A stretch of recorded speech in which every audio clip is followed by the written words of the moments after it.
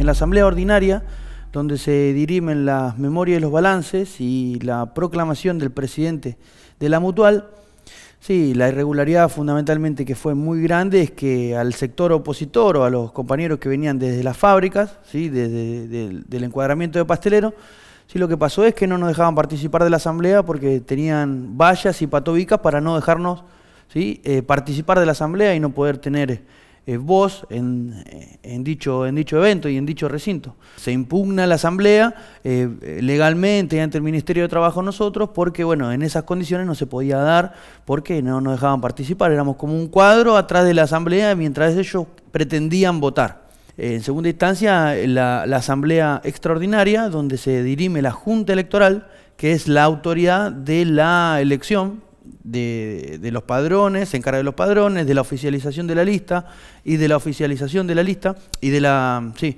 y de dónde van las urnas. Eh, bueno, en esa asamblea lo que pasó es que directamente contrataron más de 700 barra bravas ¿sí? para ocuparse de la custodia y que puedan ingresar toda la gente sin identificación y al mismo tiempo después entran a la asamblea y levantan la mano y votan por la Junta Electoral. Más de 700, 800 barra brava y bueno, un cúmulo de, de trabajadores, de 200 trabajadores aproximadamente, genuinos que ellos llevaron, mientras nosotros llevábamos casi 700, 800 trabajadores. En agosto tienen las elecciones. ¿Cómo se están preparando ustedes como sector opositor para enfrentar esto? Primera instancia, la gente a lo largo de todo el gremio, de todo el mapa, ha tomado conciencia de que el sindicato nunca defendió a los trabajadores. Siempre estuvo ausente y siempre estuvo arreglado con las patronales. ¿sí? La gente empieza a tomar conciencia y nosotros vemos el crecimiento de la conciencia de los trabajadores. Eso por un lado. Pero por el otro lado sabemos que es un sindicato, ¿sí? Que al mismo tiempo está arreglado con las empresas y eh, al mismo tiempo la única que le queda al sindicato es hacer fraude.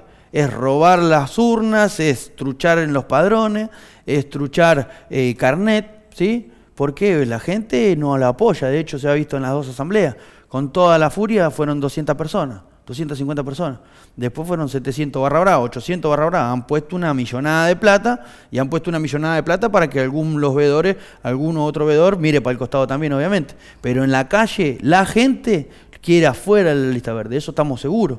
Ahora lo que nosotros tenemos que cuidar y, tratar ¿sí? es de que no nos roben las urnas, ¿sí? pedir el apoyo fundamental dentro de todas las CGT, todas las CTA y todos los movimientos sociales y al mismo tiempo eh, tratar de denunciarlo al Ministerio de Trabajo, a la Justicia, para que, para que, para que tengan los ojos puestos ahí porque en definitiva lo que van a, lo que van a perder van a ser los trabajadores, ¿sí? lo que, lo que, los que día a día se levantan a la mañana y, van a trabajar y, y el sindicato está ausente.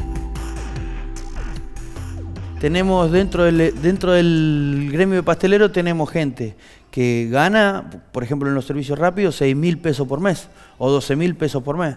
A una, una paritaria de 15%, con lo que es la inflación, con lo que es la canasta básica familiar, tenemos una pérdida del poder adquisitivo eh, grandísima no solamente eso, además del abandono del sindicato en los puestos de laburo, o sea, tenemos pérdida de poder adquisitivo muy grande, ¿sí? Y también tenemos eh, condiciones de trabajo muy precarias porque nadie defiende al trabajador.